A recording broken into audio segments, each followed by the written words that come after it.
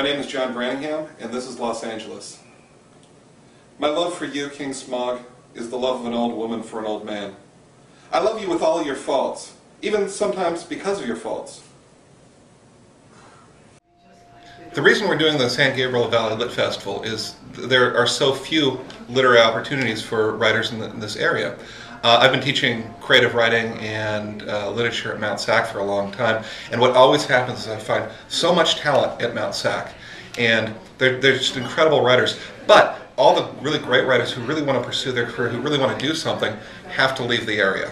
So they'll go into Inland Empire, they'll go to Long Beach, they'll go to Pasadena, maybe Santa Monica to Beyond Baroque. We want, we want and need something in this area for our writers. We have so much talent here. So many great writers have come here and have had to leave. And you think of, of the greats through history. Sam Shepard is someone who, who lived in Glendora and went to Mount San Antonio College. One of the best directors, one of the best playwrights ever. And he, ha he had to leave here because there's nothing for, for him here. So what we're trying to do is create an environment uh, where talent can be fostered and displayed and shown. Um, we're trying to create a place and a, and a moment in time where all the world can see what we're doing and we can see the whole world. We're bringing writers from everywhere we can possibly find them and to display who we are.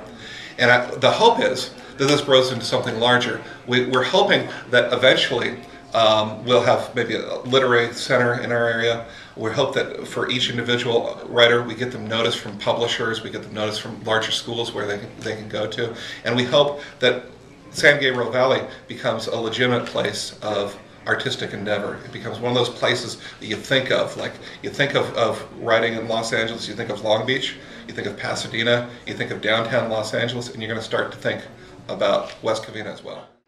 The San Gabriel Valley Literary Festival is a festival that's happening from February 15th through 17th, 2013 at the West Covina City Hall complex in the library in the City Hall. And it's, it's our chance to bring in as many writers and as many poets and as many artists as we can into the San Gabriel Valley to meet, to meet our residents. I love you for, for your LACMA and MOCA and Getty and your free jazz concerts and your expensive jazz concerts. I love you for Claremont, Santa Monica, Beverly Hills, Northridge, and Long Beach.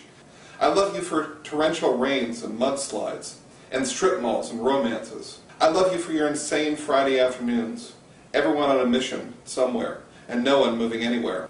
And even though I've said I will leave you, Lord Smog, the first chance I have, I think I'll stay with you until they scatter my ashes on the Pacific Coast Highway.